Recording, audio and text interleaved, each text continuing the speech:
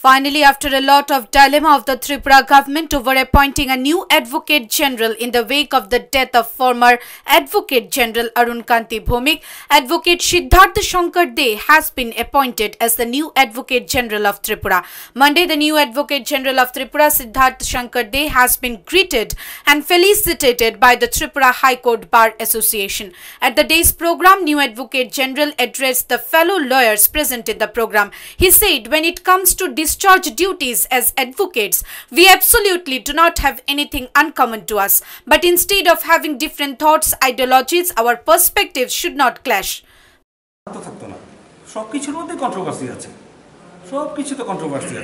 Controversy ছাড়া দ্বৈত দ্বৈততা ছাড়া কোনোদিন অদ্বৈত পৌঁছানো যায় না আধ্যাত্মে বলে দ্বৈত আছে তাই অদ্বৈত কথা ওঠে আমাদের ব্যক্তিগত জীবনেও সেম কথা দ্বৈত ভাব তো সবার মধ্যেই আছে আমি রুটি খেতে ভালোবাই আপনি ভাত খেতে ভালোবান এই জন্য আমরা ঝগড়া করব কেন?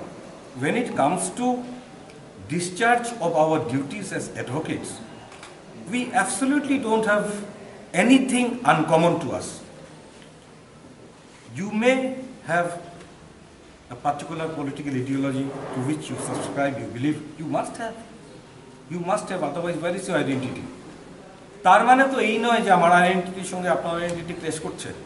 কোনোদিনই সেটা নয় আমরা এই আশা করব যে